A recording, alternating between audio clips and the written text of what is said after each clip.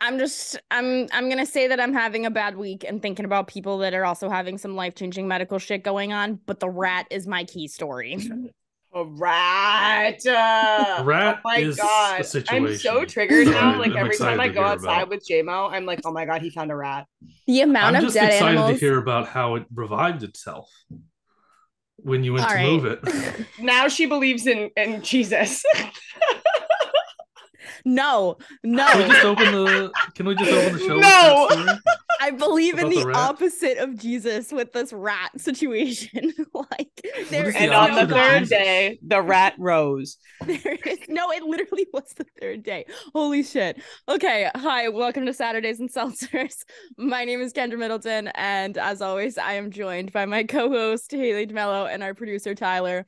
We're hopping into our HLH here, but we're throwing it a little out of whack this week. If you're new here, uh, we usually catch up with something called our HLH, which is our high of the last week, low of the last week, and hero of the last week. We're talking about my low. Um, first, I just want to say, like, if you are going through some life changing medical shit like me right now, I'm thinking about you. Mental health is always a huge thing here. Take care of yourself. Like, I cannot prioritize that enough this week without vomiting. So, take care of yourself. That being said, the rat situation. For some reason, my yard is an animal graveyard, and I don't know why. I have found dead, multiple dead birds, multiple dead rats. Like, so far, I've just been putting them in or covering them with flower buckets so that Nice. they can decay in the flower bucket. But I don't have any more. So, Do you have a shovel? yes, just Could wait. you dig a hole? Key Just part of the story. Tyler. Key part. So I've just been covering them with flower buckets and just saying like fuck it at this point. But this week was not a dead rat that I found. Jackson literally pulled this thing out of the flowers in my yard. Fucking master splinter ass rat. Like this fucker is huge. I have a picture, but I'm not gonna make you guys look at this. And I would like Jackson to see it. Actually, All right, I'll My text it to you. I've Um, seen it. Jackson decided to curb stomp this thing like full on. Like full on. Shout out it was- Jackson. I didn't know he had that in him. Me Oh, he got that either. dog in him. No, he got that dog in him. I d- did not know. I've this and I actually, Jackson. I kind of owe you an apology. Jackson's my dog. He, I thought this entire time was just a giant pussy, right? Uh, he didn't even bite this thing. He full on just front pawed, Nice. like slammed it. And so after like three days, I was like, all right, I got to get this thing out of my yard. Like he keeps trying to go do whatever. I don't need him to get an infection. I got to suck it up. But the thick, the kicker is I live by myself. And so I had to do this all on my own. And I'm standing there and I'm like, all right, I'm going to take my snow shovel. I also just sent you that picture. And I'm going to, you know, get it on the shovel. If you're watching this on YouTube, this is this is great great commentary. And just like get it pick it up and like tilt it towards the back of the shovel and then I'm going to wrap the trash bag around the shovel and then just lift the handle of the shovel up so it falls into the trash bag after about like three minutes of me trying to like get this thing onto the shovel without touching it, it lets out a squeak. Mm. After three days of this fucking thing Of being in my moving, yard, just no, sitting it, there. it maybe went three feet between the curb stomp and death. Can you give us a your closest impersonation of this week, please? It was no, I can't because it's haunting my nightmares at the moment. um, and so it starts squeaking. So I, what is the first thing I do? I call my mother. Um, Mama D, And- shout out, friend of the show. So I'm sitting there panicking, trying to figure out how to get a half dead, half alive Jesus ass fucking rat into a Zombie trash rat, bag. if you will. Literally is there is mold on this thing. I'm not even kidding. It had started molding and was still alive. And for that reason, I'm, I'm out. so sorry if this is your first podcast here. This really should have come with a trigger warning. Holy crap. and so I'm like not even screaming, but like so pissed off at this thing on the phone with my mom trying to figure this out. Eventually, my neighbor comes outside and he's like, you know, what's going on? And I'm like, there's a huge rat. And he's like, yeah, I'm out. And I was like, all right, perfect. Yeah, Um, so once again, back to square one of me dealing with this rat by myself.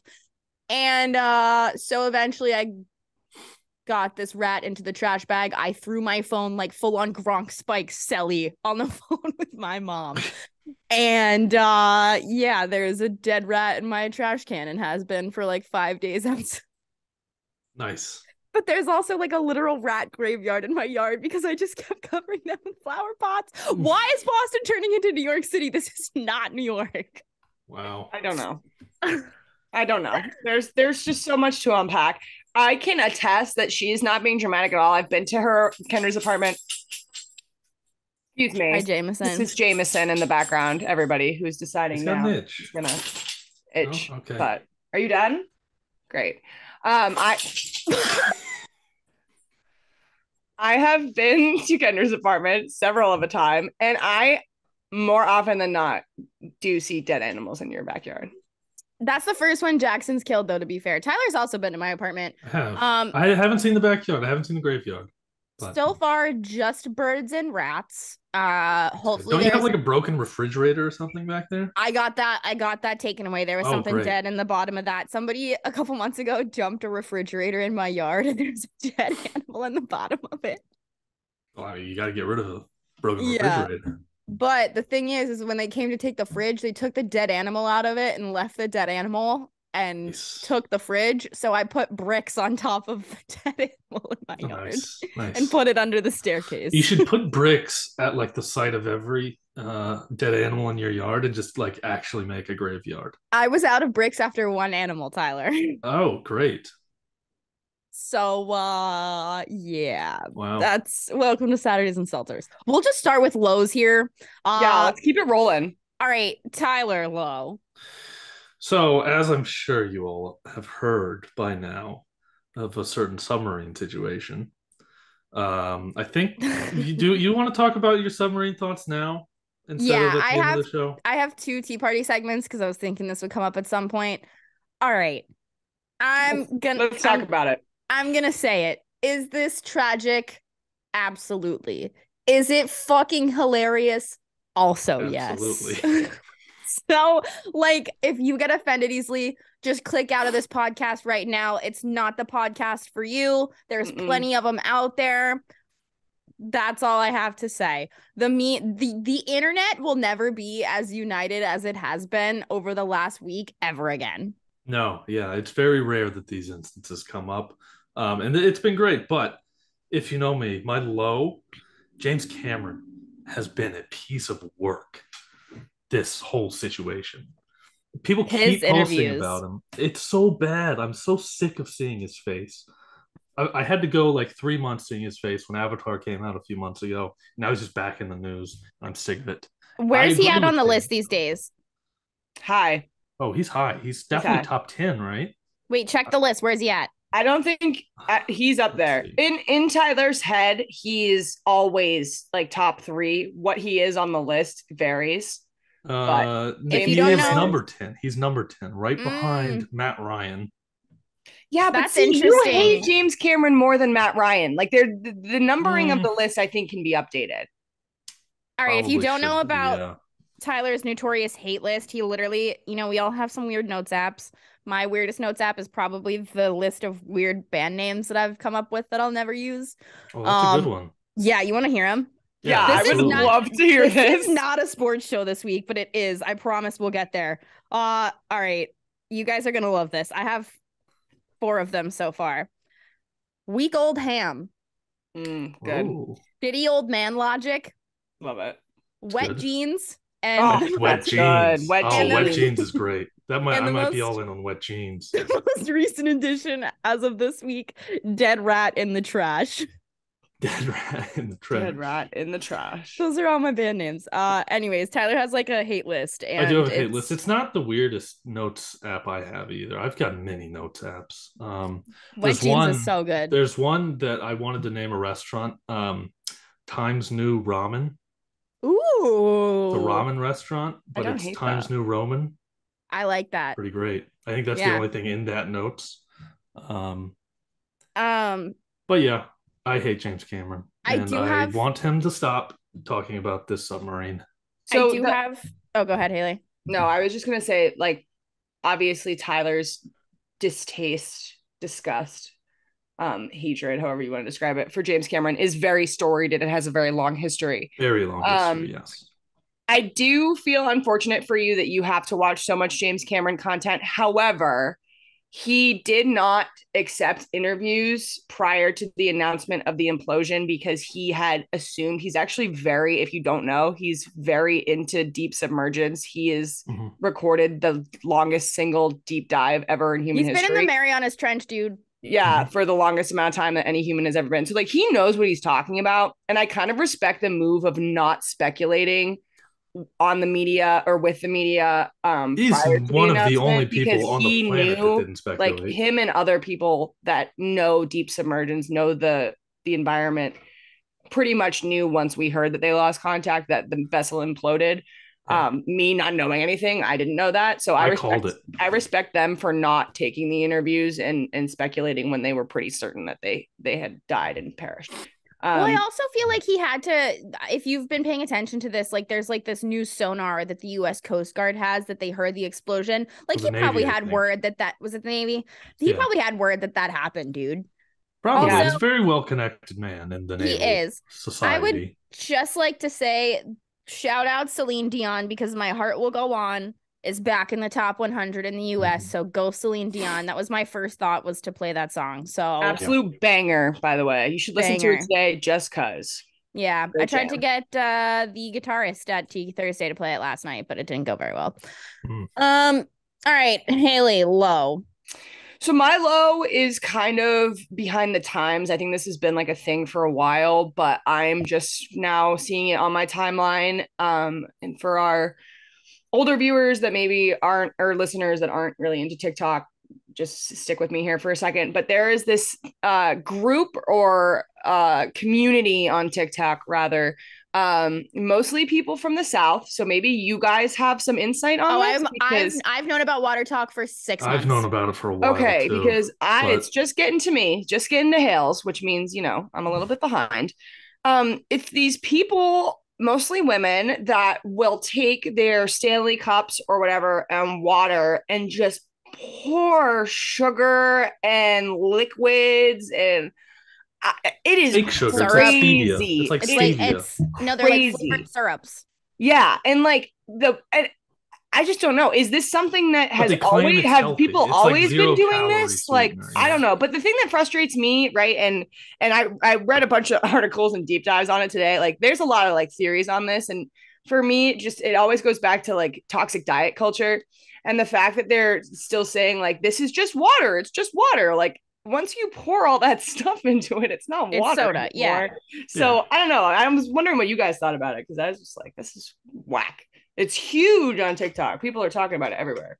So as a southerner, this is like giving me early 2000s Crystal Light vibes. Yes, I was gonna say that. Yeah, 'cause we had Yeah. a thing in like el- elementary school. I think we were all obsessed with those little crystal light Yeah. packets. Or like the Mio days. Uh I don't just, think I've experienced Mio, but Oh yeah. Uh yeah, Mio, yeah, it's this is just Crystal Light 2.0. Uh it's like do you remember Sody Pops, Tyler?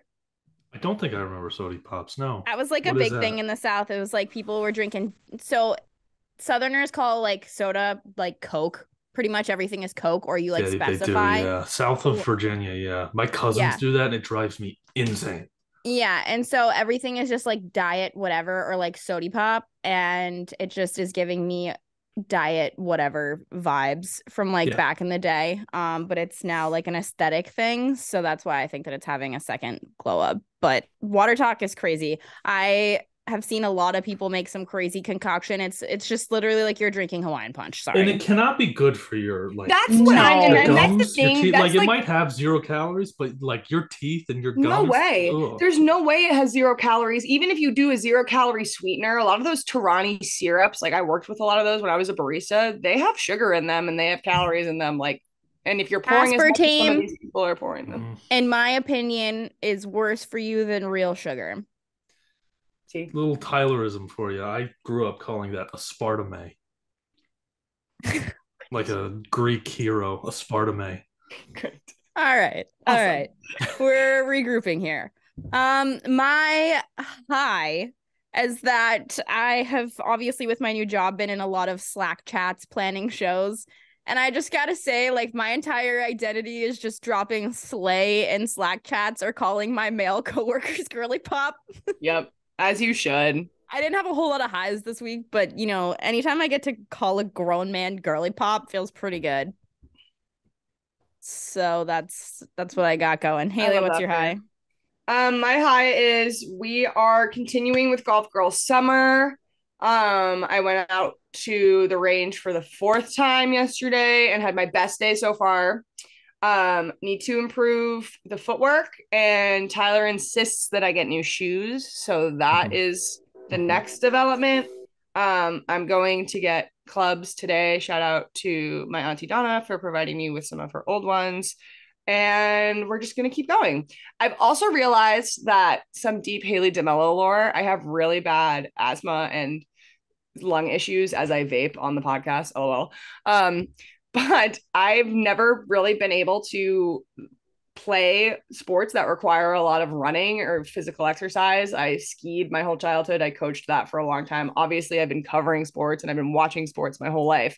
But this is the first time in a really long time I've been able to like get into something that I can like actually do and improve upon. So I'm having a lot of fun and I love it. So everyone's been really helpful and really nice and everyone on Twitter encouraging me. I appreciate you. So Haley, you should teach me how to ski because I suck at snowboarding. oh yeah, I do can a totally teach you how to SNS ski. ski ski event because I also suck at skiing. I Yeah. got a concussion on the kitty slope last year, so Nice. Snowboarding is a lot harder than I think people think it is. It's hard. I've tried Yeah. it. It's it's fun though. I like it. shocker based on if you know me at all, I grew up surfing and skating, so I thought it would be way easier than skiing for me. How are you at ice skating? I can do things very fast, but I cannot stop.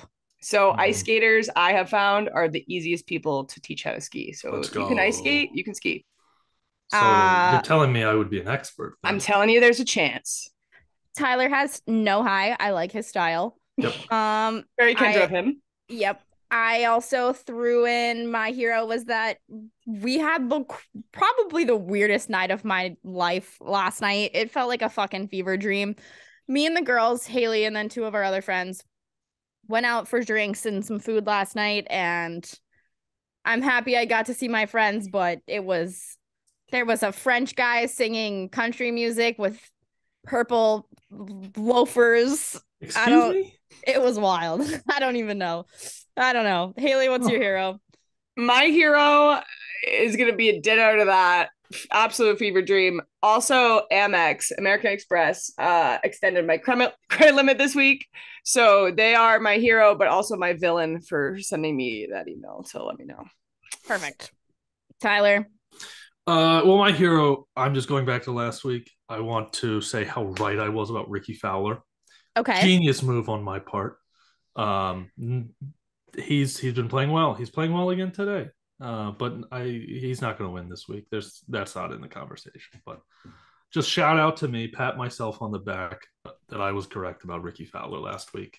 Also, Word. quick quick offset about that Amex. I have officially reordered an Amex card, so that is in the mail So Rock. Haley's getting an iPhone. from the Bruins incident. This is Oh, We're still yeah. She's still This is my the- it. this is- God. we have been using uh Google Pay, and now we are getting a new physical card. So Haley, I don't know how your that game was like last stolen. year. It is literally the off season. That was the first time they played the Kraken of the year, so that had to be like fucking December. that was their first loss at home in the regular season. it was before the Jags even played the Chargers, Haley. correct. So Holy it's on the way.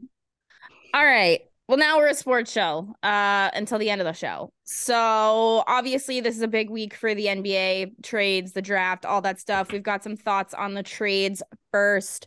I'm gonna make Haley wait to talk about the Celtics for a second because I was gonna talk about the Celtics first, and Tyler really said no pool party. That's Yeah, first. the pool party. Tyler Yeah. is Very excited for riding the the pool pool party. party. I know Kendra's Same. a pool fan too, so I figured we had to talk about him first. I am a Jordan Poole stan. Fuck Draymond The Green. Jordan He's Poole apologist, if you will.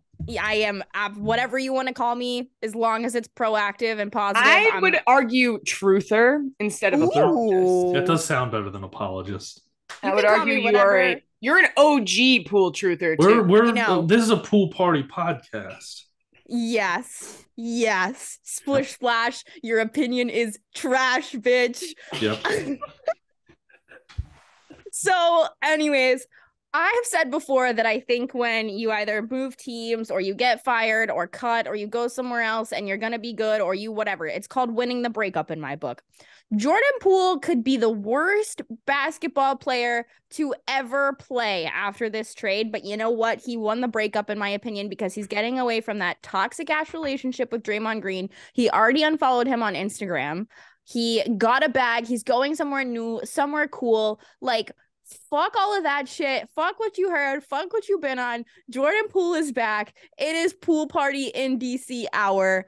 I don't care. I also think that this is a good trade outside of that, just because I don't know if Draymond's gonna be in in I guess they're in San Francisco now, not Oakland. So I don't know if he's going to be there next year. He is a free agent. I know that he's like testing the waters of whatever. But CP3 going to the Warriors, I think, is good because they're also an older team with a lot of experience. He's an older guy, doesn't have the experience piece of winning a championship or a ring. But if he's going to do it, I think that this is his best shot at doing so, especially because, like, anytime you get to play for Steve Kerr, like, I feel like you should take that opportunity. Absolutely. I think it's so crazy too that we are having a conversation that CP3 still doesn't have a ring.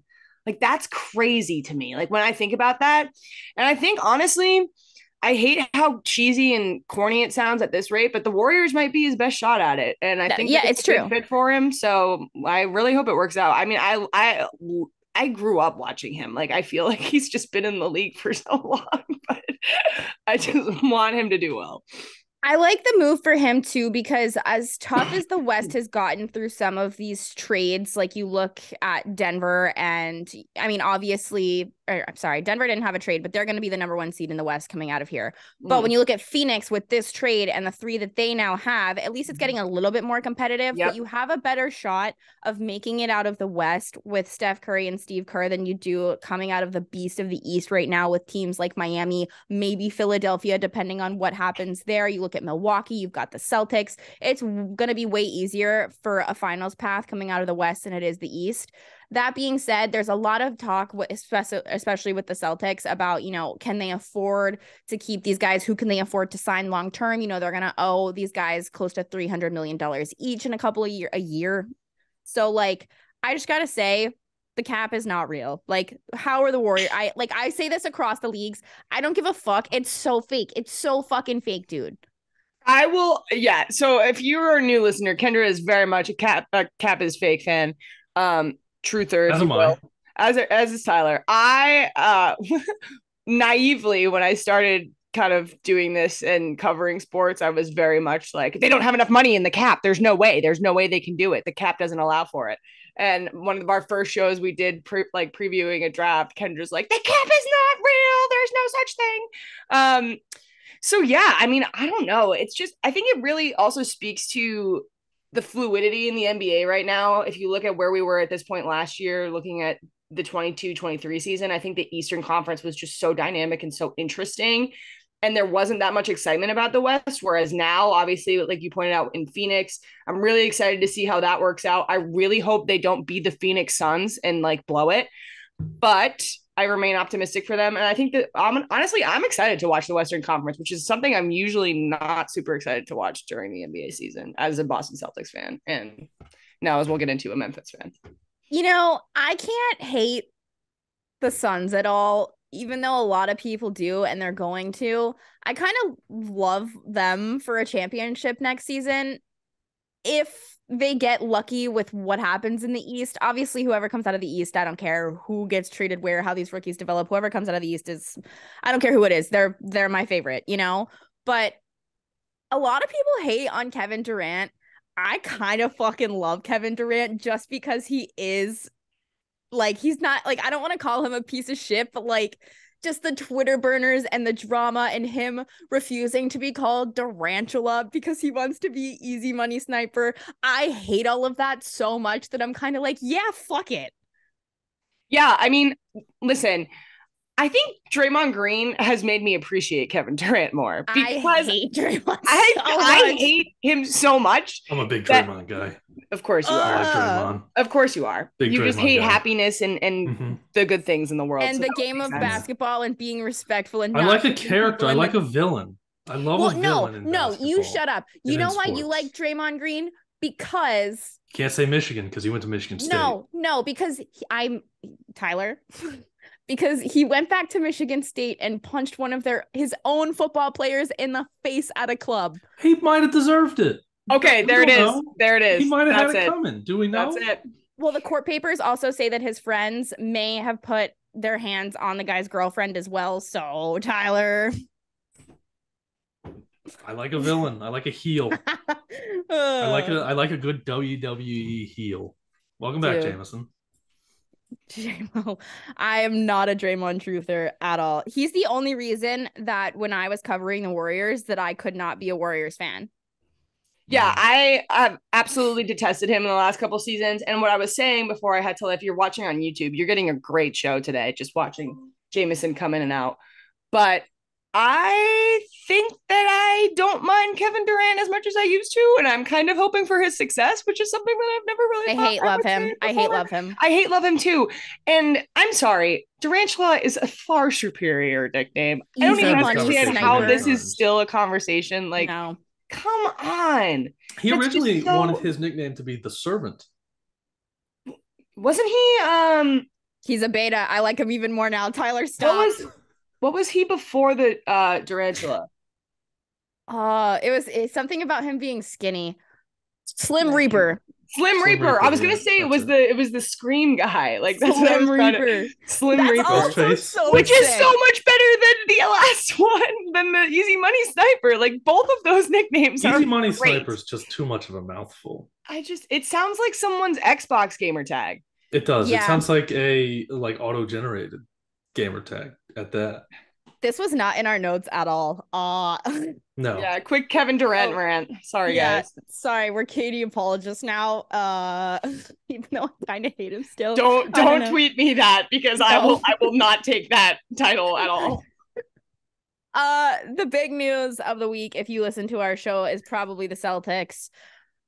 In a three-way trade, they received Kristaps Porzingis and picks and traded Marcus Smart to the Memphis Grizzlies.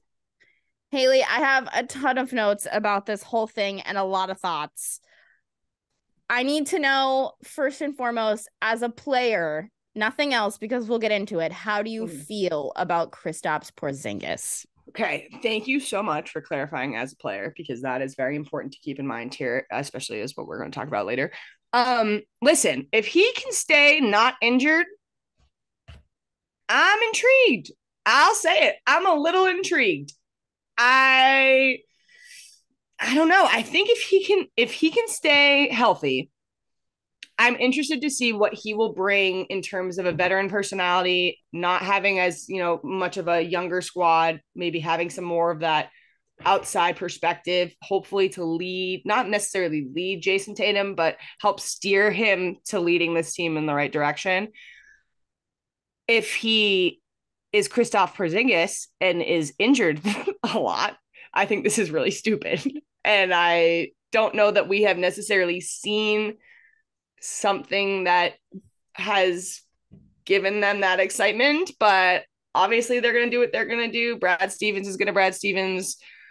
Um I just at this point I'm buckled in and just whatever the Celtics do, I just have to kind of like look out the window and be like, okay, because I feel very much like I usually feel with New England Patriots, which is that they're just gonna say fuck So- it and go for it. What do you think he brings to the team that you didn't have? And does he make this a championship team now? Because I don't think so. I think that they stayed the exact same team that they were. They just knew they needed to dump the Marcus Smart contract in hopes that Jayson Tatum could become this, you know, leader on this team. But I gotta say, unless they trade Grant Williams, he's the only set of balls that's on your team, and he's not even in your starting five. And that's fucking concerning as fuck to me. yeah, I'm not even gonna I'm not even gonna cap. I think he is uh gone. Grant Williams is out of here. That's the that's the word that I'm hearing. Listen, I mean, I, I don't think that Kristaps Porzingis really brings anything super special to the team. Obviously, like I just pointed out with his injuries, and if you look at his like stats from last year, there's a lot of zips that you're seeing across the board. So, you know, we have seen that you can be a great basketball player in 2015 when he went in the first round. Now we're in 2023, eight years later. You know, the hype around the people should not be the same. Like I think Porzingis, and I still think back to that draft, and I still think back to all the hype around him then. And then you have to remember that he's not necessarily the same player he was then. We've seen a lot of injuries happen over the course of his tenure. Um, I, I don't know. I don't see anything other than height and just having a name from another another um organization. So they're not a championship team. No, I didn't say that. I that, said well, I I asked that I also, we are having a truce right here. Haley and I know that no matter how contentious this gets, we love each other. Oh yeah, no, hundred percent. Listen, I'm honestly like, I've, like as a Celtics fan and as a Celtics apologist, hundred percent through and through. I wasn't really super psyched about this. I love Marcus Smart. Um, I love what he brought to the team just as a personality, and obviously his his playing ability can be discussed. But I think he was a really strong player and a really fundamental aspect to what they have created there going forward um, under Joe Mazzulla. I'm not necessarily sure how everything is going to come into fruition, but I still remain really confident in Jayson Tatum and Jaylen Brown and their leadership abilities. And I think that they have the capability to become a really strong team, obviously, a strong contender in the Eastern Conference. Um, I think I'm still too raw coming off the playoffs. If I'm being 100% honest, like I can't even think about them making a playoff run right now because I just I I just can't think about that pain again. I know yeah. that sounds so bad, but like I don't know. I don't know. We'll see. We'll see. Okay, so obviously you just said it and it's not a secret that you are a Celtics apologist. 100%. During this whole conversation of the trade with other teams, Malcolm Brogdon was originally the guy allegedly on the trade block and at the last minute the Clippers decided that he wasn't healthy enough to go after and trade for so they had to find somebody else in Memphis to kind of make that trade happen minutes before Kristaps Porzingis contract had some complications with it at midnight. And so if the Celtics knew that Malcolm Brogdon's injury was this bad, is that kind of shady on the Celtics part to still kind of try and deal him somewhere yep. else knowing yep. yeah. Yeah, so how do you yep. feel about that cuz I think that that's really fucking shady. I think it's shady. Listen, I thought it was shady when he was in the conversation to begin with because we saw him. Obviously, you have it in here. I first thing I thought of six. we always make a joke at the bar when we go to the Celtics games. Sixth best man instead of best sixth man because we always just mess up the word. So I always say that. If I say that, I don't mean it. But best sixth man in the NBA. Listen, I think that's a huge accolade. And I said that when he received that. I think that's a really big deal just because it shows his ability to not only come off the bench and play well, but in a team of such dynamic. And I, again, I feel so weird saying this because they played so shitty in the last um series they played in but for the most part a group of really dynamic scorers i thought he he added something really different um, and brought something really kind of kicked them in the ass a little bit when they needed to. So I was surprised that they were shopping him around a little bit. And then I saw the report that the Clippers were like, uh, that injury though.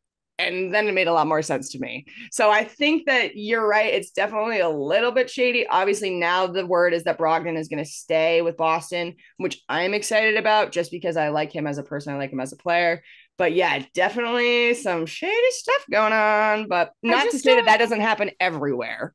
Like, I don't even mean just shady in like the injury report fact. I also mean shady towards like him. You know what I mean? It's mm-hmm. like you have been with us for one year. Exactly. You have a season where you don't win like a not it's not a not for nothing accolade and yeah. now we very much reportedly put you on the trade block as an injured person and tried to get away with it and now we're like tucking our tail between our legs because we're probably not going to be able to deal you now that you're this injured and we didn't let out that you were this injured so now you're going to be on this team next year which is good because the talent's great But at the same time, how do you expect someone just to be like, oh, yeah, no big deal, guys. Let's go chase a ring?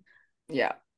I don't know. I think so much of it too is going to come from the coaching with the new the new coaching team that they're putting together. I'm really interested to see how that's going to work out and what they're really going to try and improve upon and just see it's it's almost like an experiment, right? Like I'm kind of just interested to see how that's all going to work out. We'll see. It's going to be a lot of pieces moving together this yeah. coming season to make the Celtics work. I don't think they're done making moves. I don't think they can be done making I moves. I certainly hope not. Please, God. because their bench depth is minuscule at the moment. Yeah. That being said, who do you think is more likely to go, Grant Williams or Payton Pritchard? That's my last question about the Celtics before we talk about the Grizzlies in this trade. Well, that's a great question. I'm glad you asked, Tube, and I'm going to answer this partially because I want to hear your answer as well. Um, I'm going to go Grant Williams. You have had a lot of thoughts on Grant Williams over this past season and just in general, um, his presence on the Celtics or lack thereof on the court, rather. Um, the rumors I've been hearing is a sign and trade agreement for Williams to leave. With Porzingis coming in, I think he's going to want a team that's going to give him more minutes. As we saw this season, that was kind of lacking, and I think it will continue to lack, especially with Porzingis if he stays healthy coming onto the team. Don't know where he's going to go. I know that we've talked about previously, and I can't remember. You texted me something along the lines during playoffs of like, wasn't this supposed to be Grant Williams' team? Question mark. And it's just like, so I don't know. I don't think it's it was getting to a point where we would see our W3 out there a lot more than we would saw Grant Williams. That was the Williams you would see. Or you said uh it's the wrong you said made a comment about the wrong Williams or something. So you have had Grant Williams up here for a while. No, I know what it was. It was that Robert Williams was supposed to start or something like that and I don't know. I it, yeah, it was a it was a joke about the Williams, but uh, it's not Grant Williams' team. Never has been, never will be. Yeah, and so it's just kind of like I don't feel, and, and not to not give him credit, I don't personally, as a fan, feel as tied to him as I do Jaylen Brown, Jayson Tatum, etc. You shouldn't. And I think that if he wants more minutes, he's not going to find him here. So they should never benched up. They should never cater to him ever. I think that Payton Pritchard's more likely to be gone just because with this vanilla ass big three in quotes where's your attitude coming from? I'm sorry. It, where is it coming from? Where's your bully ball coming from? Where is your hustle coming from? And i don't think that grant williams is a starter. Maybe somewhere else not here right. just because I agree. somebody but somebody else might need him. He's not a starter in boston and he's not gonna be. But the reason that I think he is is because he's got the not that he's a starter, but the only reason that I think that he is capable of being traded is that he's got that energy and hustle, but the Celtics need that right now, especially mm-hmm. off the bench. Like mm-hmm. the Celtics need that like bench work right now. 100%. And so I think Payton Pritchard's more likely to go just because he's fine. He's easily tradable. He's a likable guy. He can fit in somewhere else, probably get some more minutes and make a difference somewhere.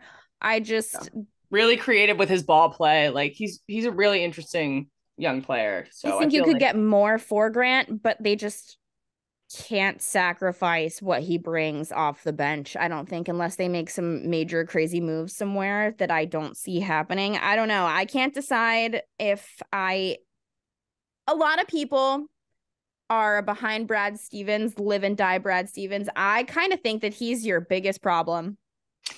Yeah, listen, I here's where I stand on Brad Stevens. Um I am suspicious I'm very suspicious. I'm going in optimistically, but every time I see a picture of him up in the boxes at TD, like I feel like he's doing like this kind of like he's just like he's got this this villain energy about him. And I really hope that what his master plan is, whatever it is, works out, but I remain very suspicious. And that's all I'll say. That's suspicious. I think that Brad, Brad Stevens fans are coming for me. Brad Brad Stevens ghost is in your room right now. Oh my god. He said um, that was not bussin'. That was not a bussin' opinion. Well, too bad, Brad. All right, so obviously Marcus Smart gets dealt to the Grizzlies here. I know that that's, uh, you know what, as much as like Marcus Smart is dramatic and whatever, he did bring the energy that I think is now kind of Grant Williams' job until he or if he gets traded I liked that about him. I think that they did need to get him off of the team just in the hopes that Jayson Tatum will somehow blossom into this leader that he hasn't been. Um, but I the word around town is that the Grizzlies wanted to do this so that Ja Morant, and this is not my wording, this is actual legitimately, I think Woj said this, but they wanted an adult in the room. An adult in the room for Ja Morant. And I honestly I linked the Grizzlies potential roster for this upcoming season. I don't hate this move for them at all. I actually really like it. I think it improves their roster a lot. But here's the thing it's going to go one of two ways. Either Ja and Marcus are going to be the best of friends, have the best chemistry, have this attitude about them when they play, and it's going to be beautiful.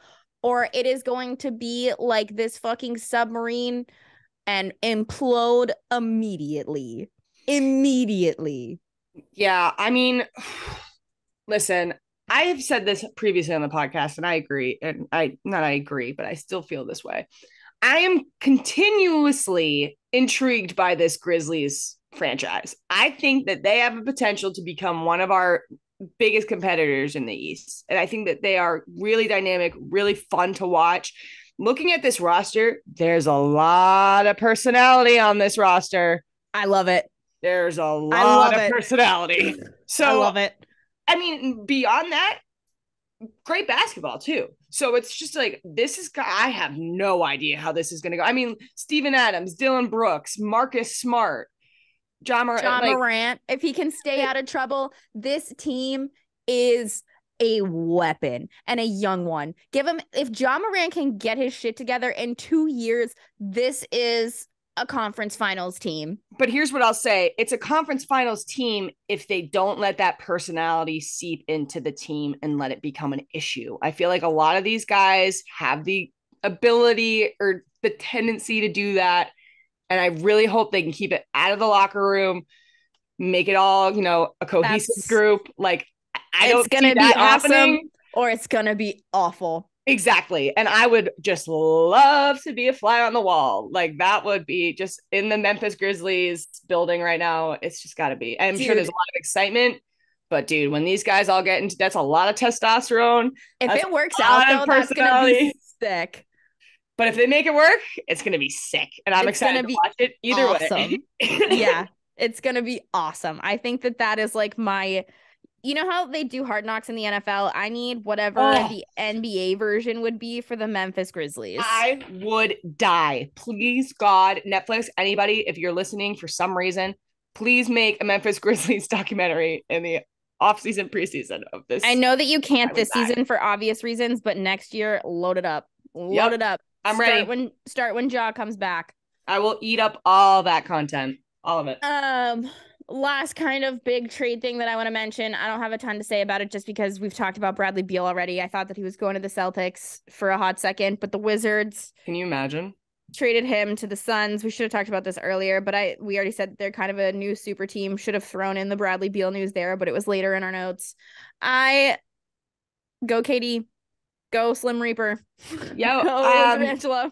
Yeah, uh, Tyler, as our, our resident, well, technically you're a Pistons fan because you you ride the Pistons for some reason in the NBA, but um, because of Detroit, baby, the Pistons dude, are sick. The Pistons are sick. We're a big culture, team. and exactly. RIP the Wizards. I just yeah. this this has been a tough look for the Wizards. I just I, I don't know what they're gonna do. Uh, like cringe, cringe fest at that whole situation. But I agree. rebuilding for sure. Yeah, rebuilding. Uh, hopefully they can do it in an effective manner. Um, that, and they're having a pool party, baby. Yeah, they it are is. having a pool party, and yeah. you know what? Who cares when you're having a pool party? They're yeah, they're like, you know what? like my Pistons. They're a lot like my Pistons. They're just vibes. I take it just back vibes. because I was thinking from the perspective of who they it. were losing, but you're right. The pool it's party. vibes. I'm vibes in. are at an all time high. I'm all well, in. Yeah. Not really. I'm all really. in on the pool I'm party. saying they're at an all time high. Fans I've talked to are very unhappy. Uh, yeah. We're such a shit my, show today. My yeah. feelings are with Wizards fans for sure. I know. But the pool party. Me hear me out. As a Jacksonville Jaguars fan, believe me, I get it. That being said, I look back at those years now and I'm kind of like, that rocked because now we're really good and that rocks. You can't experience high highs without some low lows, people, and you got Jordan Poole. That part. And that is one of the highest highs you can ever have. It's Jordan Poole. Jordan Poole. All right. See, I'd love to make another almost Saturday of Jordan Poole, but the people would be like, all right, we get it. No, I don't even care. I don't even care. We have to find one of him in a, a Wizards uniform. I There's have gotta one be a already. mock-up somewhere. I already, I already have it. Yeah. Great. All right, Awesome. fuck it. NBA draft notes. I don't have. This was the The shittiest draft happened. It was It awful. The draft happened. I hated it. I You hated Well- it except for one thing, which was nobody get mad at me for this because it's not going to sound how I want it to sound. I sped home, not really, like going 75 on the way home from happy hour last night. I didn't have any beverages because your girl's on antibiotics. Just throwing that out there. I had one sip of a coconut drink to try it, and it was terrible. That being said, I sped home from happy hour last night. For what? um I'll tell you for what. Uh a single jacket I'd Hey. like to say that you did like. I, That I outfit- loved the fashion. The fashion was the great. fashion, the fashion was great. That being said, yeah, all right, on the burner, NCAA basketball. A lot of these draft picks and a lot of the top draft picks were not NCAA college basketball players. Thank you. Thank you. Is is college basketball dying? Here's the thing. I Different think sport, in my opinion. I think college basketball is entering its ice hockey era. And here's what I mean by that. We have both worked in, well, actually, all three of us have experience in hockey. I went to a huge hockey high school. A lot of the people I knew growing up didn't go to college, played juniors, then got a then got a deal at college, then played. What I'm feeling with the NBA that we're seeing is those players that aren't ready for the NBA are going to the G I'm League. stirring my tea. They're going to Europe to play. And therefore, in these drafts, that's where teams are drafting them from because they're ready to go. I feel like the NCAA is not necessarily preparing these players unless they're some Zion Williamson level, you know, incredible. Duke, whatever. Yeah. Dude, sorry. You know I had to, you know I had to do it on him. Yeah. well, so I have that in my notes about Wemby. I'm like, people are so polarized by him because they're like, I don't know if he's going to be good. He's going to be a bust. I have no faith in him. He can't put on any weight, blah, blah, blah. I don't know why people feel this way because he's been playing overseas against literally 30 year old Yep. fucking men Former as a, NBA players. as a child. Like, I, I know don't why. understand. It's because they haven't seen him. They're that those games aren't televised like NCAA. I know. I know. That- that- that's the only reason why. If they That's watched him play, they'll say, "Oh, this kid's incredible." Yeah, they don't But know Nobody's ball. seen him actually play. They don't know ball like us. But that's the thing is that people are just like, I have no faith in him. People are saying he's going to be better than Kevin Durant, blah, blah, blah. Shut up. Shut up. Like these kids, like all of them, all of these kids that did not come from an NCAA school have been playing basketball as 17, 18, 19 year old kids against grown ass fucking men. Grown ass men. Yeah, I think we're we're past the point where you can you can start like you can stop harping on on European basketball. I think we're at a point where European basketball I would equate to like juniors in hockey, it, it- bigger than like they are really good and it's really competitive. Well, even in like the Olympics and stuff, like they Mhm. compete, like they beat Yep. ass. well, look at Jokic too. Like just be like basketball is not necessarily an American sport. It may have been No. founded here, but it's not Amer- like you know Hmm. it's not. We're seeing a lot of people come from all over the world that Look at that Mavericks phenomenal kid too. What's his name? Luka. Doncic. Yeah, Luka Yeah. Doncic. Yeah, He's like it's just it's something boat. that I think that we can't necessarily knock on, and I think that that's a great point. To your point, Kendra, is obviously those players that are playing in the G League and the European leagues are better prepared for the NBA than these NCAA players, and that's why most of these NCAA players aren't going right to the league. So there's something to say about that.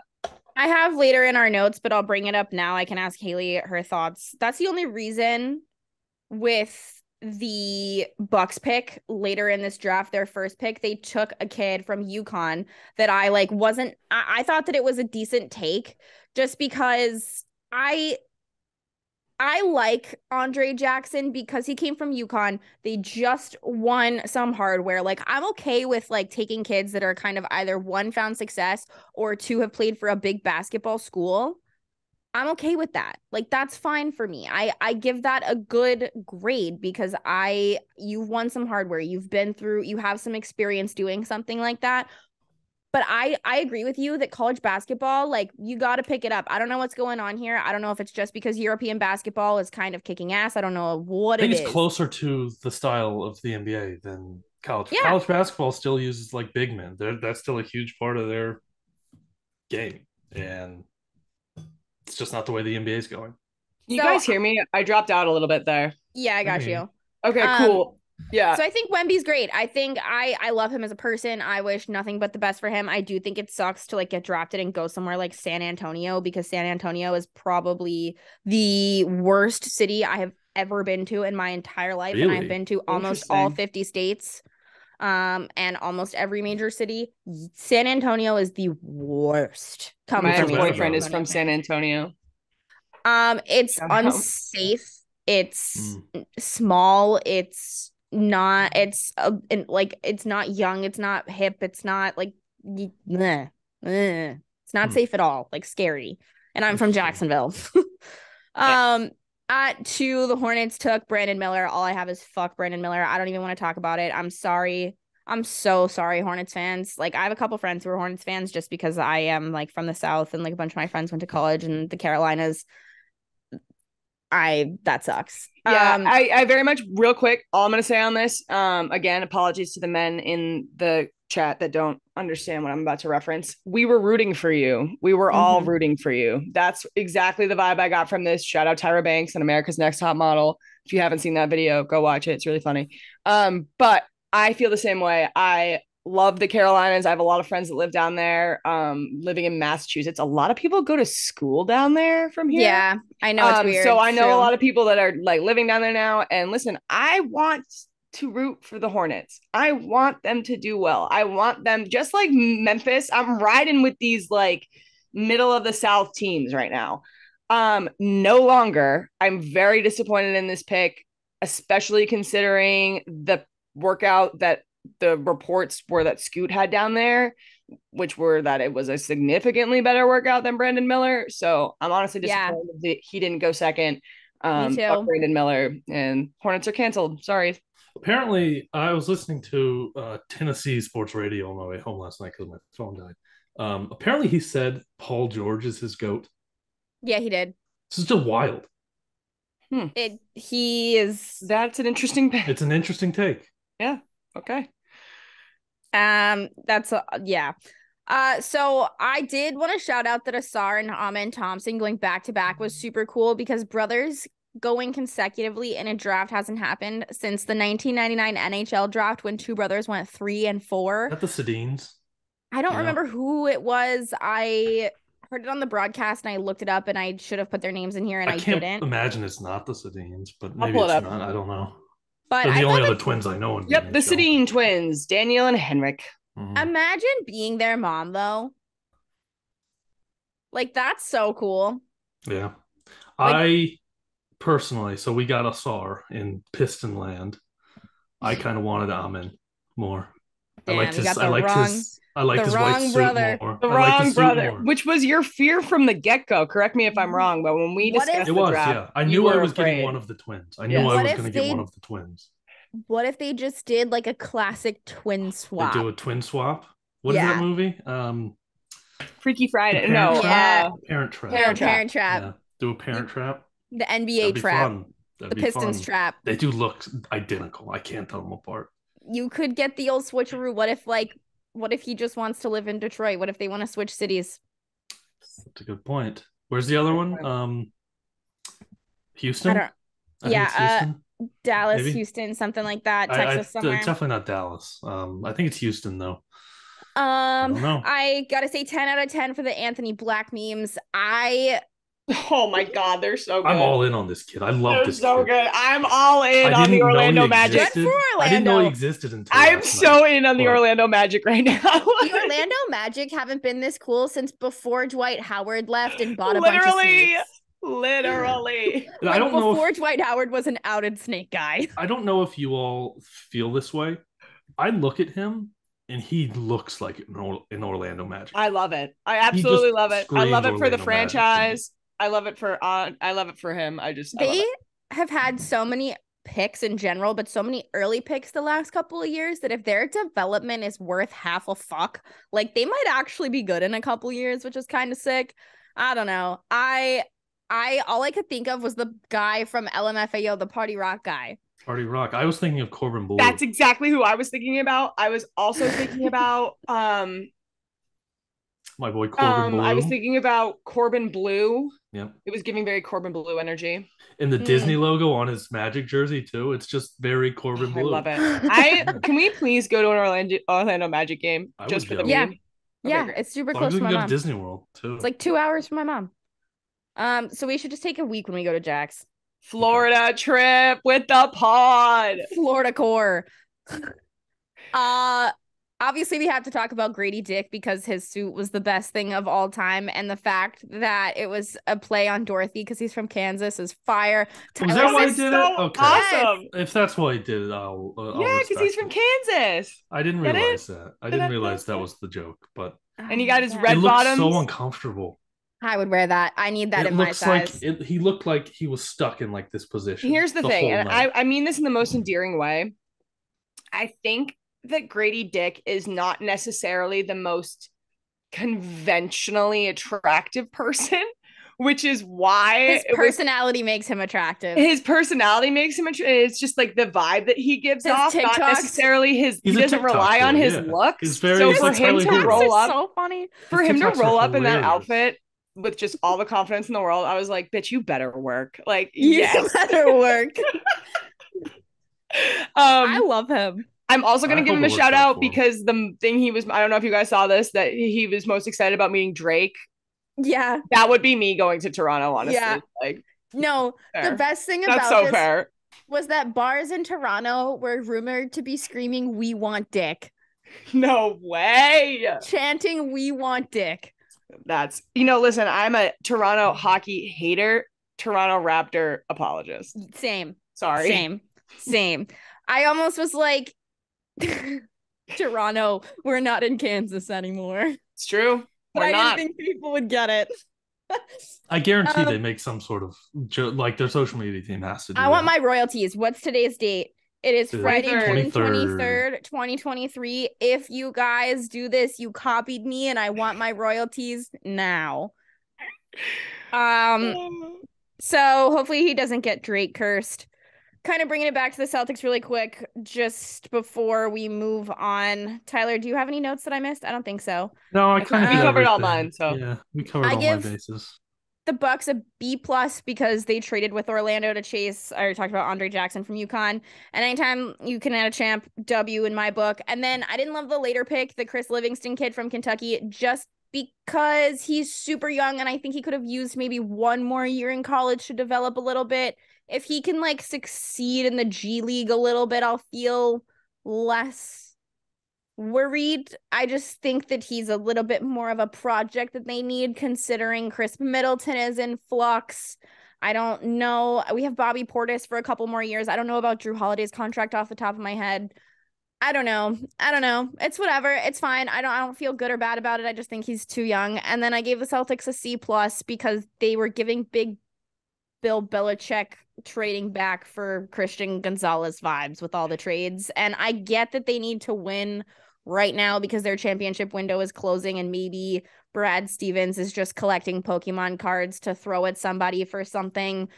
But I don't know. You're really putting all your eggs in one basket here, Brad. Yeah, I don't know. Listen, I'm gonna first I'm gonna jump off the Livingston thing because I also was very confused by that. The kid was born in 2003. Well, like, okay, just as a reminder, um, that is crazy to me. But I think it also speaks back to our earlier conversation. I feel like a lot of these kids that are entering the NBA draft right out of NCAA are not ready.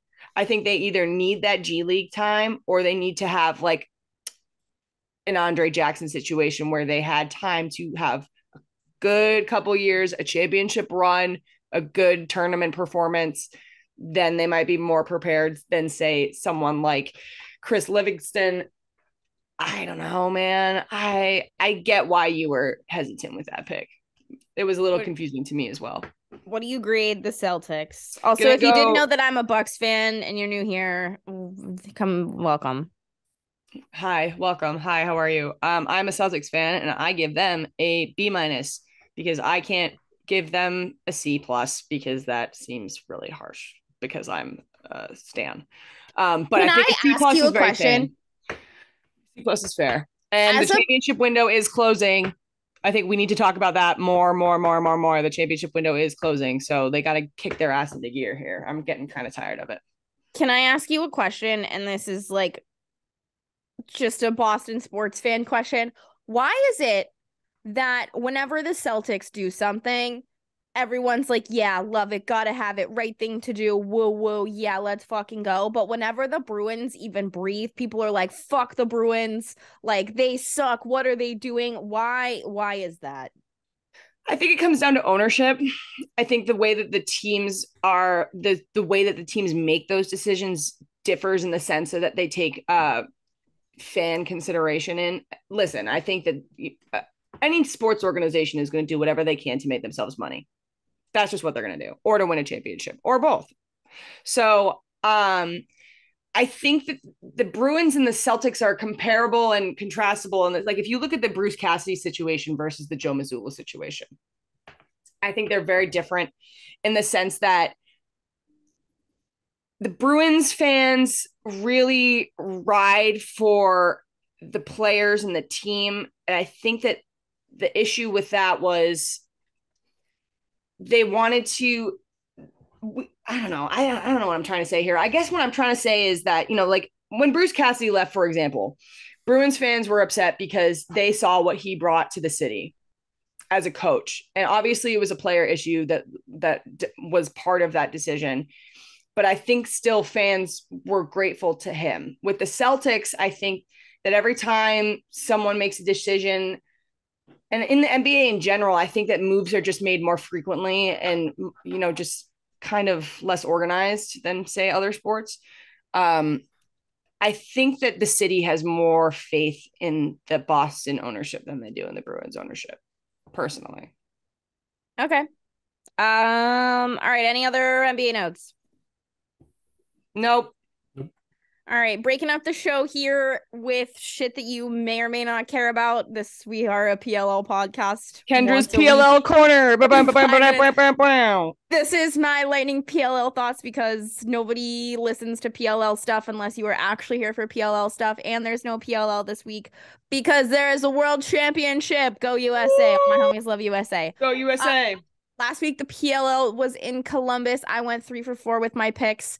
The Water Dogs versus Atlas was a crazy game if anybody watched it. I said last week that the Atlas have a championship roster and just aren't kind of getting the productivity out of it that I think that they should. Losing on a last minute goal to the champs, I don't think is anything to hang your head over, but it is a short season in the PLL and I think that they need like a serious come up if they're going to kind of fall into this groove at an early enough stage and it's like we've seen teams like the Chaos in prior years kind of have a really shitty start, especially with some of their guys, you know, playing in NLL championships and stuff and be able to get it together. But you just have such a good roster that I think that you, your championship window, like the Celtics, is closing. So get it together. Even though the Water Dogs are the champs, I think that they, I think they are, they should be, you know, losing by one goal is competing and it's like pretty much the same caliber, but I don't know.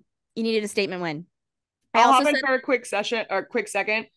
I loved this game for the PLL because I saw this everywhere. It seemed like Yeah. a lot of people were able to like it was a very good intro game for people that haven't really watched a lot of professional lacrosse.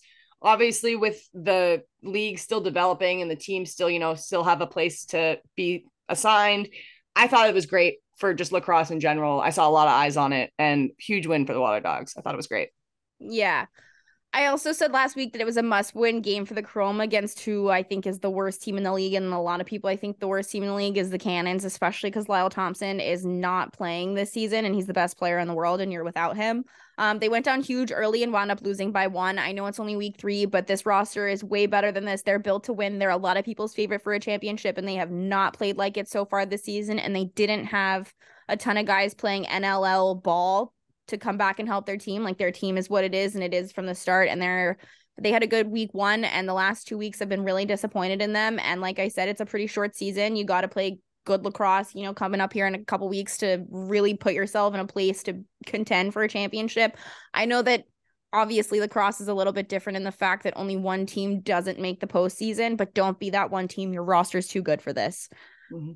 Archers versus Chaos. Uh, I've said over and over and over again that I think the Archers are the most overrated team in the league, and I still believe it. The Chaos are playing lights out. They have good coaching. They added Nick Rowlett on the faceoff, which has been way bigger than I think anybody has expected it to be for them. They're moving, shaking, and producing. I love this Chaos team. I know that they've been really successful over the last couple of years. They have a fucking lights out defense. I don't think it's their year to win a championship, but they're such a physical and motivated team that I am never shocked by any win that they're able to produce. So if they even won a championship, I wouldn't be shocked. I just don't think it's their year.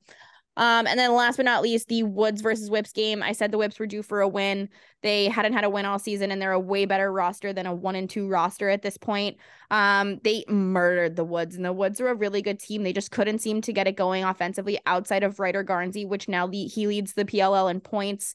Um, he's had 14 goals, I think, one two pointer. He's had two sock tricks, and if you don't know what a sock trick is, there's three weeks in the season, and he has scored more than six goals or six goals in two of the three games. That's fucking incredible. He finds different ways to score every week, and every single time, I'm like, there's no way he could get more creative than the last goal. He somehow finds a way to do so. He's all over ESPN. He's everywhere. He's the man, the myth, the legend.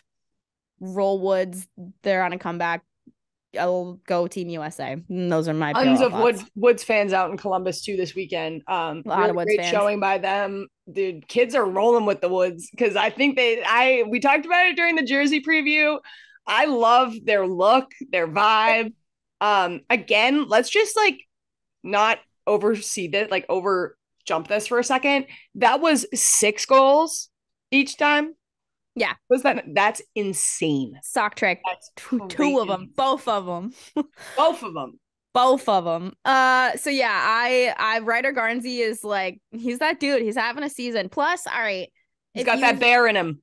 If you've listened to this show, you know that we're a pretty progressive podcast. I don't think anybody's listening to this show that isn't a semi progressive person. And I just have to say, I love the Woods for all the progressive personalities on that team.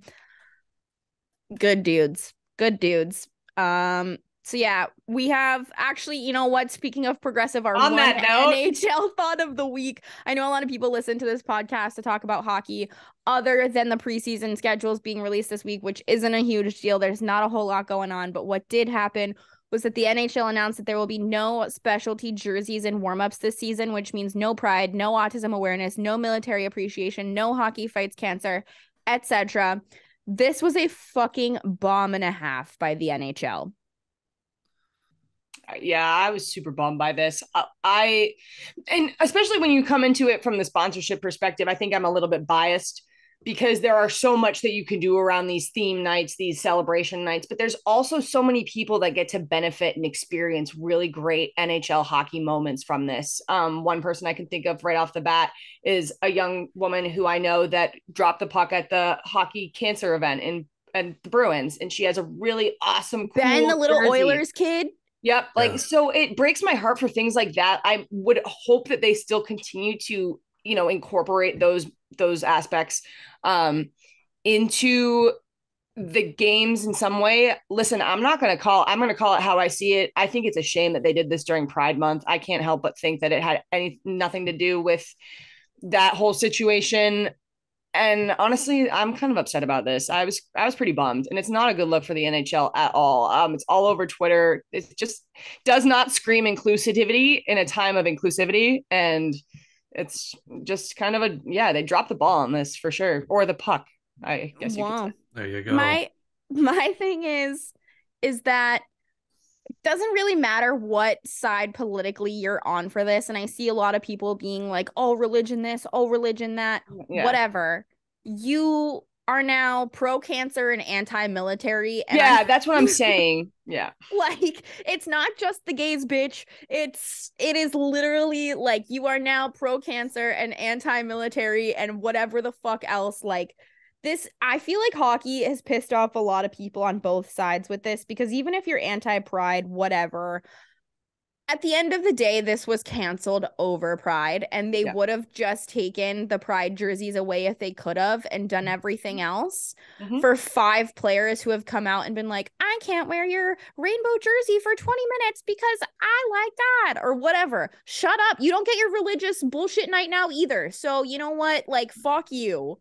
And I think it speaks to the ridiculousness of all this. Like, because of those people, now we can't have childhood cancer night. Like, you know what I mean? It's just such a shame. And it's just like, grow up. Like, it's just, it's just such a shame. Go be a bigot really is. somewhere else. Somewhere else. It Don't, you know, I just, I'm so tired of it, dude. I really am. I'm like, I'm, it, this isn't in our notes and this is off script, but I'm, I'm so sick of it. I really am.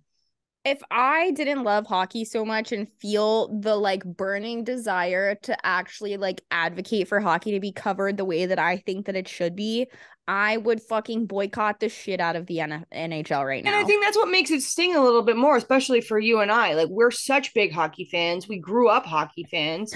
And you know, I'm not even a part of the LGBTQ community, but I, I consider myself an ally. And we joke about that all the time, but I really do. And I think that hockey should be something that everybody can enjoy. And now it just kind of feels like, oh well, you can't have it. Well, no one can. And it's like, well, okay, well, that's no fun. Like, But you know oh. what? Fuck the NHL specifically for this because now that I think about it, they highlighted the fact that they had Black Girl Hockey Club at the Stanley Cup finals. That's what I'm na- saying, dude. They pick and choose, and it's not right. And now you're gonna fucking pull this shit as if you haven't been bragging through the Stanley Cup final that hockey is for everybody and highlighting them and sending them to a game and all of that fucking horse shit. And now pull this. I don't. I this is Sarah Griffin, friend of the show, Friend of the show, tweeted that okay, basically hockey is for nobody. Then and- literally. all right, hockey is for straight white people, sick, without cancer, without ever serving in the military. Like, fuck you guys. Fuck you guys. So ridiculous. My neighbors are probably like, what is this girl screaming about right Same, now? my windows are open. Well, I live in an apartment building. I know. I live across from a boat club, so I'm, all these I'm watching all these people out here going on their boats. I'm just like, but yeah. So, so that was our hockey L segment for the week. the NHL. Yeah. Yeah. Yeah. There is an L in the NHL for a reason, you dorks. Yep. Uh NFL stuff. There's one sad thing, not sad thing, just annoying thing we can go ahead and get out of the way just because it's a point of t- fuck Tyreek Hill too. You know what? Yeah. He- I just don't know why we're still having this conversation, but fuck Tyreek Hill. I think okay, I'm going to say it. He's a piece of shit, but of course during all the Jack Jones stuff, it's like, all right, well Bill like the devil works hard, but Bill Belichick works harder. I don't know. But charges have officially been pressed against him uh, over like him hitting a guy who worked in a marina during like a Father's Day fishing trip. I guess he was like, if you don't know that tarpon are like a protected species in Florida, they are. I guess he was like trying to hunt them or whatever, and this guy said something to him about it, and he hit him.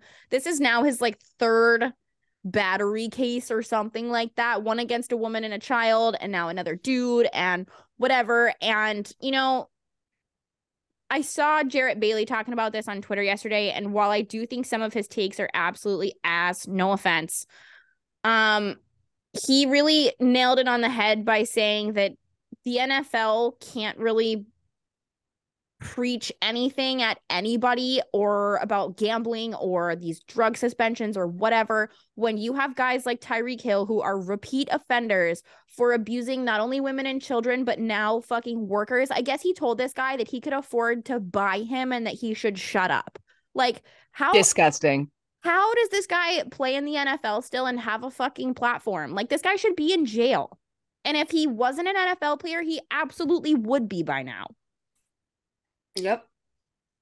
I Yep. just what is going on with these leagues? Adam Silver, please teach a TED talk. Thank you. I would agree with that 100%. I think that comparatively, it's like the NFL is the wild, wild west, bro. Like I don't know what's going on, and we we can t- we can jump into the Jack Jones situation real quick before Yeah. we go into the the second point here, just because I think it kind of is an interesting comparison.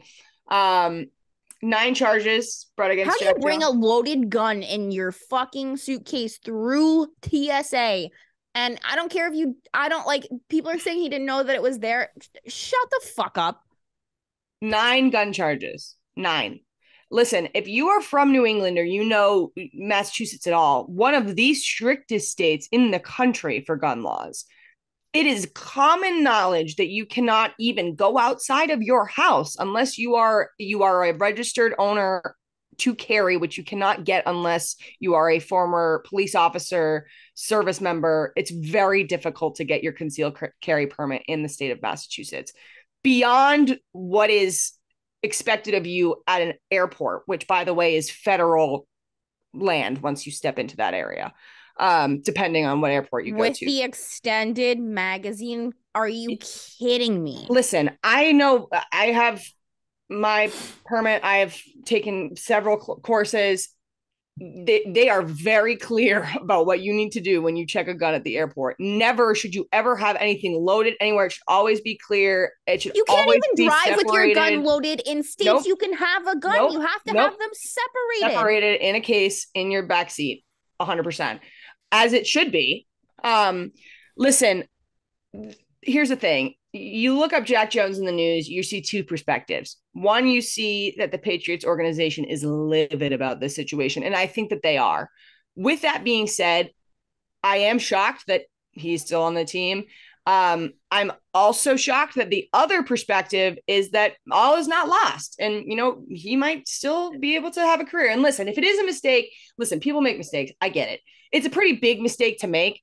Obviously, hopefully you learn your lesson. I hope anyone that saw this learns that, you cannot bring a firearm onto any aircraft or honestly, I wouldn't That's even bring it terrifying. like that is so scary and it's dangerous for him too because you know then you're you know you you could be a target of security obviously as you should be.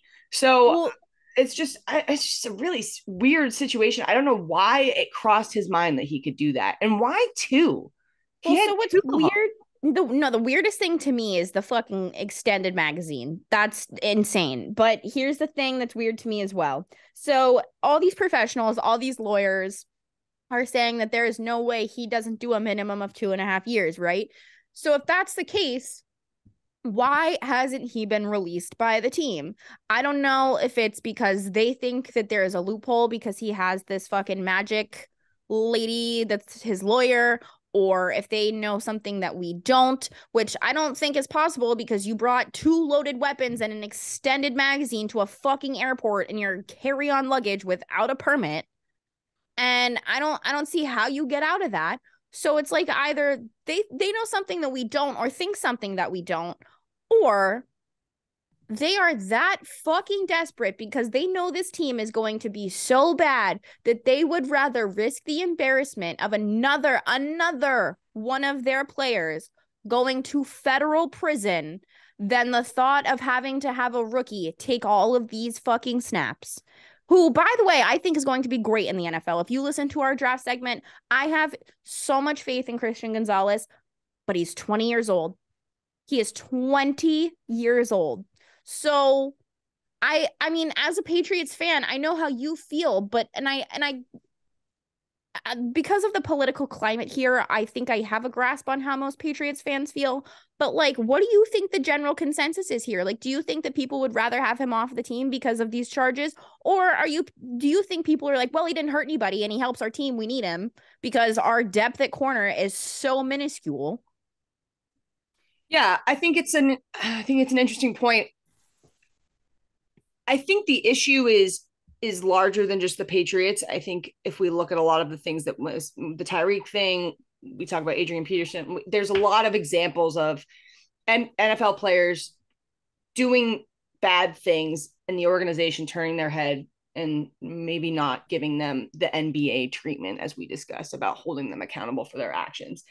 I eh, you said another player. I was gonna say I can't help but get kind of PTSD from the Aaron Hernandez situation, um, because I was so in New England country when that whole thing went down. He was only a couple houses away from me. His den was like literally down the street from me, um, and that was just so shocking to us as a as a fan base because we had such a sense that Bill had this grip on the team that they were so, you know, um almost like a, an army type mentality right? Like they were they were well behaved. They weren't in the news. You know they kept everything really straight. And when that came out was kind of like oh they might not have as much control of these young players that they think they have. And i and i think that with the jack jones situation too that's been so shocking because we went back to that mentality of you know bill has these guys in, in, a straight line how and then it's like how could you how could you let that happen like how could i don't think he's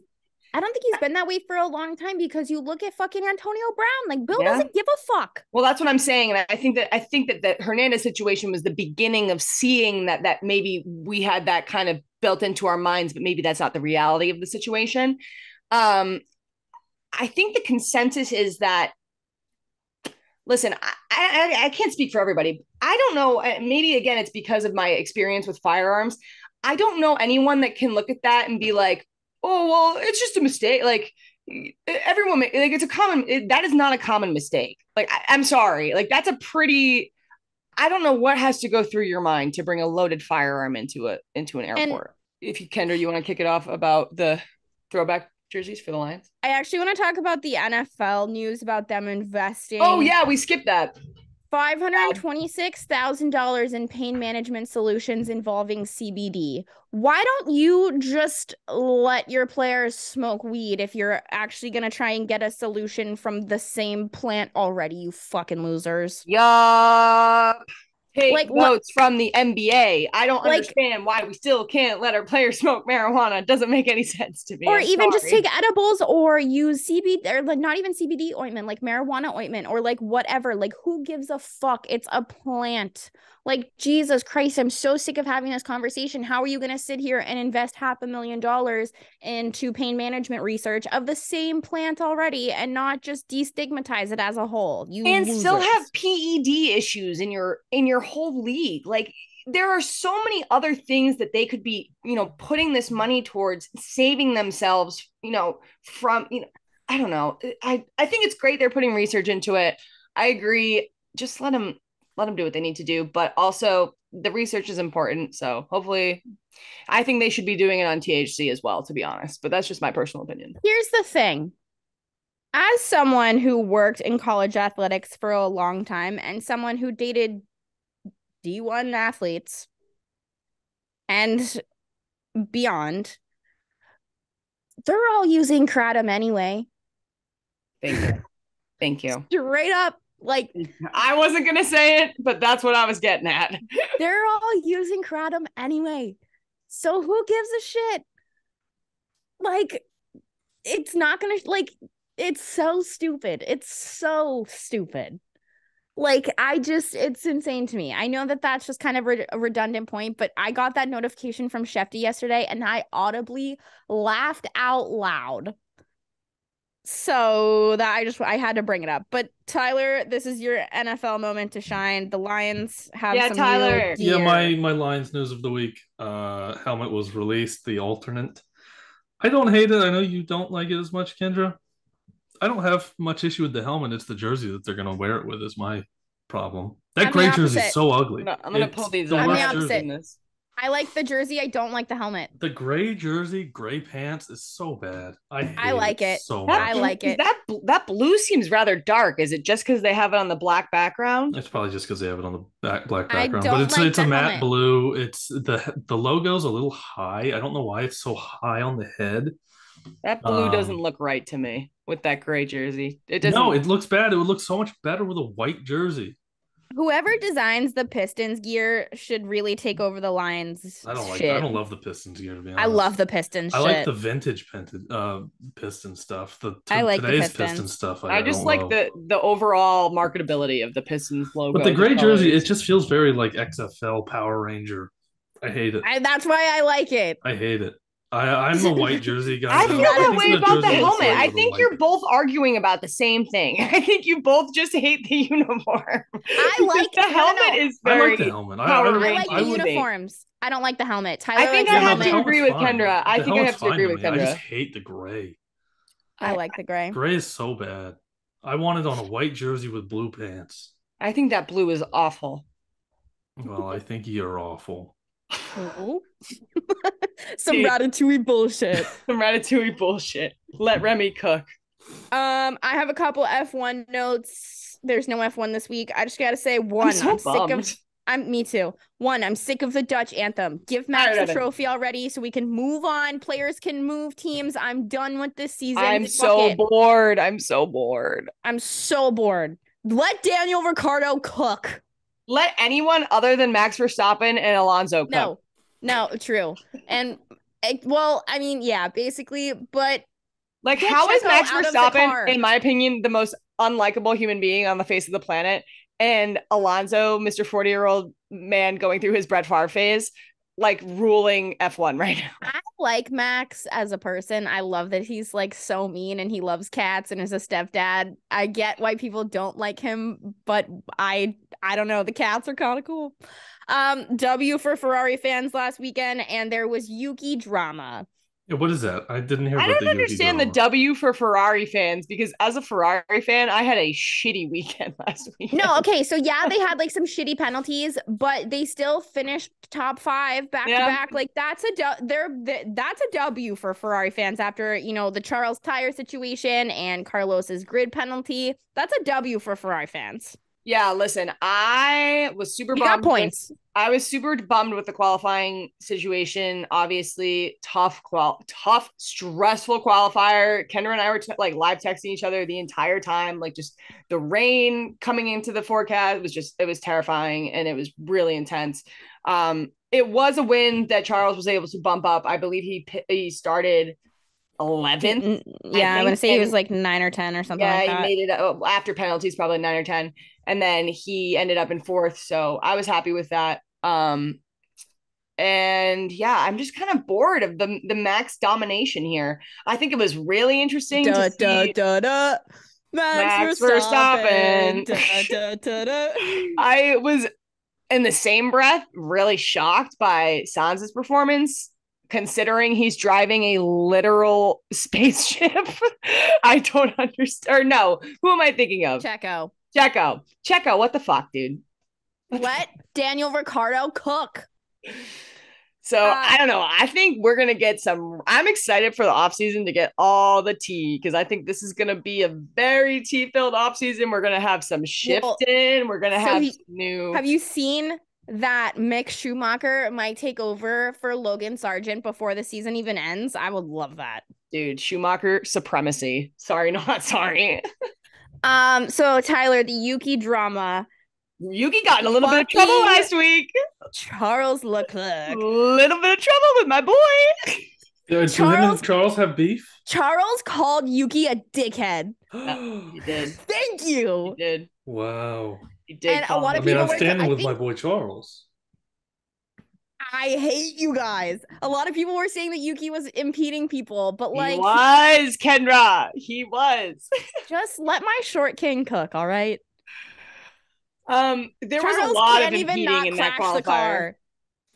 There was a lot of Yeah, it's the ri- dude. There was a fucking tsunami. Okay, yeah. It was there was a lot of impeding. Uh, Sainz Carlos Sainz for Ferrari impeded like literally the entire field. did he? I don't know, Did he get a three grid penalty or a five grid penalty? I can't remember, but what I I, can tell five. you, and this is my piece of tea from last weekend as a Ferrari fan, I am done with the team management.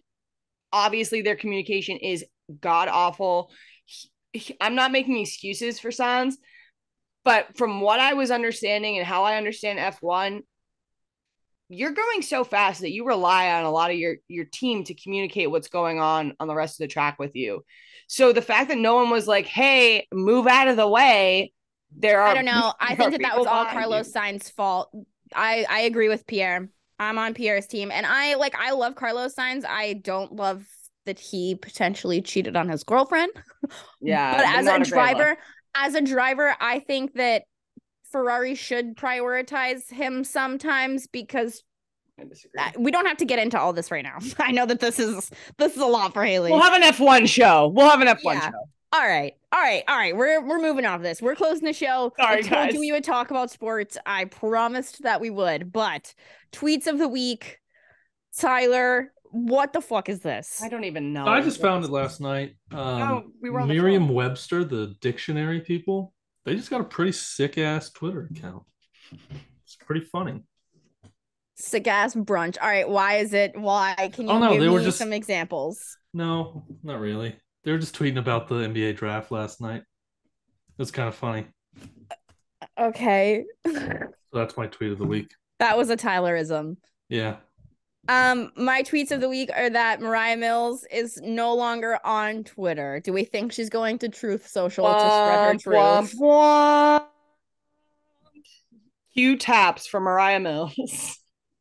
Yeah. I think that it was definitely the fact that she threatened revenge porn. Yeah, it was definitely not that. a good look, No, Mariah. can't be doing that, Mariah. we you can't be doing that. I don't know about the law. Cannot. We don't stand. We There's don't stand. No. There's a there's a line you can't cross, and she crossed it. Yeah. She crossed many a line, I would argue. Is it bad that I had her tweet notifications? No, I'm not shocked at all. You were all in on the Mariah Mills tea. Tyler was I. sent So Tyler sent the account suspended. And what's that like Chris Pratt where he's like, Yeah, That was me. Parks and Rec. Yeah. that was me. Um, Haley, do you have a tweet of the week? Yeah, my tweet of the week is going to go out to friend of the show, Steph Smalls, who tweeted out the other day uh, her love and appreciation for the song Rich Girl by Daryl Hall and John Oates. And I agree. Okay. Good one. Good tweet. Hall and Oates. I got their names wrong, I'm sure, but that's that's the Tea vibe. I'm for. party. This Zuckerberg versus Elon fight, dude. What in the 2023 fever fucking dream is going on here? I got a notification that DraftKings had odds for this yesterday and that they actually are both doing this and that fucking Elon Musk might have Andrew Tate training him and I just I don't I think that it should be a cage match, fight to the death. And then And they both lose only- and they both not- die. no, one of you has to die and you have to give the other one your social media platform. Oh, Hmm, interesting. I like that stake. Mm, Here's the thing. So thing. you die and you don't get your social anymore. Can you correct me if I'm wrong? I think I've seen on Twitter that uh, Zuckerberg is like ju- he's into He's judo. Zuck, Zuck, BJJ. Zuck is in a lot into a lot of the. He has a Brazilian black belt. jiu-jitsu? He has a black belt. Okay. He, he's he's a little bit of a martial artist. I've been trying to get more into martial arts like over the last couple weeks. I haven't told either of you that, but like I'm really trying to like get into it and learn the differences. Uh that shit's crazy. And I don't think that Elon could beat him if he's a Wait, black Haley, belt. No, I You don't. should have I, I taken- think Zuck washes easy. You should have taken my women's self defense course that I taught as my senior thesis. I would have loved to do that. I'm Hmm. honestly so mad I didn't do that. Damn it, dude. Yeah, if you didn't know that I'm a black belt, shout out to me, I guess. I don't know. But I am very intrigued by this because I think that they should have to fight to the death. I would like tickets. So whenever know about to the that is death. organized, we would like to be Um, there. Tyler. I do think it should be no holds barred though. I think we should get some some steel chairs involved, some ladders. It could be a ladder match. Do you think this That'd is going to great. be the Go most WWE. I was gonna think this is say, gonna do you want to come out of the fight? do you want to come out of the closet, Tyler? I've never been in the closet, Haley, about did you my know about fandom this, of Kendra? WWE. I've always been a WWE guy. Okay, but here's the thing. I know see that if I got any merch around. I don't. Think I do. I have a. WWE t-shirt that I'm supposed got to a- wear on the show. My wardrobe used to be exclusively WWE shirts. I find it fascinating that you were a WWE super fan. Yeah, Almost no, as fascinating as you playing hockey is uh, crazy Yeah. to me. Yeah, I was convinced when I was when I was a boy that I could be a WWE superstar. He looked one into he looked into the school, looked into Kendra. it. Yeah, I He looked, looked into in. going to wrestling school. Yeah, no, it's deep. It's Yeah. deep. Yeah, I'm still Ha- convinced if I like trained for several years, I could do it. I think As could if you it. didn't start lifting two weeks before we were all supposed to go on a beach vacation. Hey, shout out Tyler because I still haven't been to the gym since that. that Wait, here's the thing though. Like I know Zuck has got like the moves or whatever, but Elon's so much bigger than that little wimp. It's insane. No, I think Zuck's Is he? got that What- how, how psycho tall is, thing to uh, him How though. tall is what's his face? Zuck is just so skinny. He's cr- he's crazy. What's I get a vibe on that that man's How- just how long are- absolutely What's nuts. the wingspan? He gives me what is that movie where that guy's like, that wasn't me, that was Patricia. That's SpongeBob. Oh, split. Yes, that Split. movie is like He's got Zuckerberg split vibes. personality. Yeah. Yeah. Totally Zuckerberg vibes. I can Yeah, totally that's that's see that's good. that. Yeah, that's a good Yeah. comparison. Good comparison, Kendra. Win. That's a win. that wasn't me, that was Patricia. I Did, did you not catch that Tyler thought you were referencing the SpongeBob episode where Yeah. they dress up Where Patrick? they dress up Yeah. Patrick as a girl. Yeah. do you think that this is gonna be the most watched fight in the history of the world? No, No. I don't. I want people really Zuckerberg to fight Jake Paul. That That would, is I what think that I would want. sell more than uh, I I want think Mark the Zuckerberg social to media fight Jake CEOs Paul. fighting each other. Who how did this even start? Who what think- the fuck? Elon talks nonstop shit, so I I guarantee think it was you a Elon. um. No, I think it was a, a Dana White situation. I think he was talking, being interviewed. Yo, about it. that my man. Say what you want about Dana White. My man is always looking to make coins, so I would not be shocked if he was the mastermind behind this idea. All right. Um it's Tyler's favorite time of the show. Dun, dun, dun, dun. We need to come up with a horoscope song. This is where we read Tyler's horoscope today. Um Does it say I'm going to be a professional? Oh professional God, this is already bad. This is already so bad. I'm not ready. Tyler's hell is only ever being able to feel lukewarm emotions. My hell is Mm. your own mind prison. True. Um yeah. I think so. I I'm just in So are you right living in hell, Tyler? Because you're that's what it constantly means, yeah. lukewarm. Existential I'm very crisis. lukewarm. You're Luke Bryan warm, if you will. Yeah. Um I'm trying to read the rest of it. You're it says you're feeling abrasive and you don't feel secure enough right now to state an opinion that differs from mine. T. I mean, we did have beef about the helmet. It says that I ah, should the helmet. it beat. says that it says that I should play everything you say back to me backwards. Huh? I don't know. What does that mean, Moon? oh, that's so good. Is there a secret Tyler- message in my words? Tyler's hell is lukewarm emotions. Yeah, that's just me daily. That's just you. That's a great band name. Put that in the band name. Lukewarm Lukewarm emotions. emotions. lukewarm emotion. Yes. That is a good one. Yep. That Bringing it is back to the top of the show, good. ladies and gentlemen. That's what we call a callback. right. That is all right. We got the band names, or they're popping. Dude, Mhm. I'm honestly very impressed with that list of band names. That's a hard list. Thank you. up. Thank you. Wet jeans slaps. Wet, Wet jeans, Jeans. incredible. Is probably Incredible. the best. That's that's Is where it with a money Z? is. I'm gonna end? run it back. It I'm should gonna run be it with back. a Z. These are my these are my band names. Weak old ham. Shitty old man logic. Wet jeans. Dead rat in the trash and lukewarm emotion. I think so. Shitty old man logic. I think we could just drop the shitty old part and it just be called man logic. I think that would be harder than Or drop the old. logic and be shitty old man. yeah. Either one. We got to shorten that one up a little. Because logic's kind of already taken. I don't want to. No, we can do man logic. I Um, think. Does anybody have any other closing thoughts? Uh, you have the U.S. Women's National Team roster release. Hashtag Slay. Hashtag Girly Pops. Hashtag Alyssa Thompson continuing to be a badass bitch and missed her graduation, but now she gets to play in the Women's World Cup. So I missed my, my closing- graduation too. That's Tyler's closing thoughts. Yep. My closing thought about this is that you should mute me on Twitter now because during the Women's World Cup, I'm about to be so insufferable. When does that start? next week? I Next think two weeks, week Two and a half, like 12 days or something. Mm. it's coming. Get ready. I can't All wait. right. I'm so excited. Anything else? I hope everybody listening has a good week. Like Kendra said at the top of the show, if you're going through medical stuff, personal stuff, mental stuff, totally get it. We've all been there. Keep your head up. We're in the middle of summer, so try and take some time for yourself. Little work life balance. And I hope everyone has a great week. Keep on sipping, y'all. We'll see you next week. Peace out, gang.